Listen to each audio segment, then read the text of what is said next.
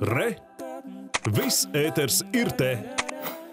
Energoresursu straujais cenu kāpums līdz ar Covid ierobežojumiem jau tagad ievērojami ietekmējis darbību ledus halēm.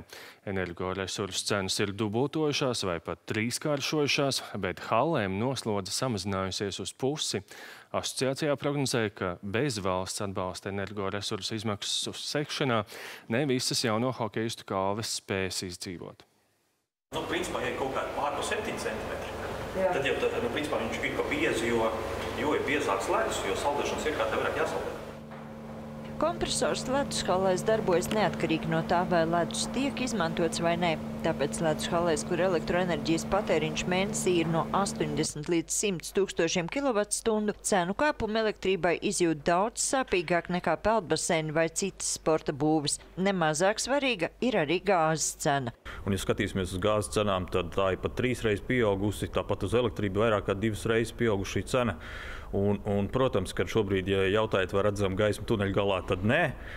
Arī Majoras sporta laukums lidotavai, kas ir atklātā hala, elektroenerģijas rēķins pieaudzis par trešdaļu, bet apmeklētāju skaits sarucis gan covid ierobežojumu, gan saslimstības dēļ. Jūrmās ledus laukumā pašreiz vienlaicīgi var atrasties tikai līdz 25 lidotājiem, bet pirms pandēmijas skaits nesot bijis ierobežots. Nu, jā, gribat, gribās teikt, dzīvosim, redzēsim, bet jā, nu, šis būs ļoti diskutabls jautājums. Jau pavasarī izslēdzot kompresors un, un, un, un domāt, ko darīt nākamā gadā. Līdzīga situācija arī Ozo un Inbox hallēs, kas gan atšķirībā no Jaugavas un Jūrmāls ir privāti uzņēmumi, kur praktiski neieplūst pašvaldības finansējums. Man ir izdevies būt pietiekoši tālredzīgam, slēgt ilgtermiņa līgumus un sadārdzinājums par elektrību ir dubultīgs. Tad, respektīvi, ja agrāk bija apmēram no 7 līdz 8 tūkstoši mēnesī, tad šobrīd tas sastāv pašlaik pat nav. Viņi nevar teikt, ka viņš dubultā, viņš mainās, no, jo noslogojuma nav. Jo tā, normāli, ja būtu pilns noslogojums, tad arī būtu dubultā šīs te būtu 11 tūkstoši arī par elektrību. Jo kurā gadījumā mums ir jāsaprot, nu, labi mēnesis var, divus mēnešus, trīs mēnešus var. Šobrīd ir tā, ka šī ledus skala 24 pēdējo mēnešu laikā ir strādājusi 9.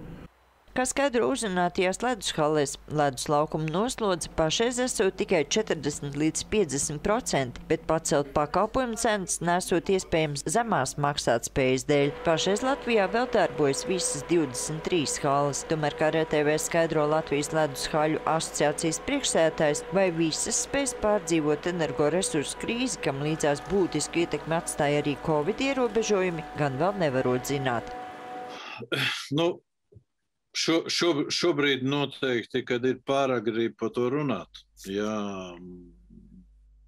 jo nu, parādīs pēc mēnešiem, trijiem, četriem, nu, tā, kad, tā kā viss tas savilksies un aizies, aizies vēl dziļāk. Ja, kād, ja būs nu, tas solītais valsts atbalsts uh, lielāks, ja, ja būs tāda varbūt speciālā palīdzība, tad, protams, viss izdzīvos.